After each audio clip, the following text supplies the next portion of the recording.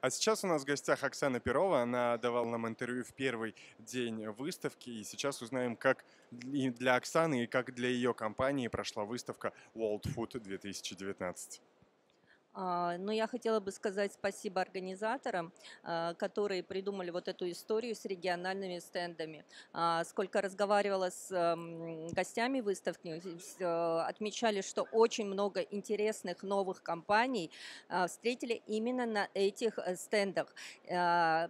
Дело в том, что не каждая компания небольшая, региональная, может позволить выехать на такую выставку, а благодаря фондам поддержки, вот в нашем э, случае это был ам, с объединенный, э, стенд а, Удмуртской республики. Э, Благодаря этому мы могли буквально 8 компаний небольших, молодых, од- начинающих стартапов приехать на эту выставку. И я думаю, что все были очень довольны, собрали достаточно много контактов, и сейчас самое главное обработать их. Спасибо.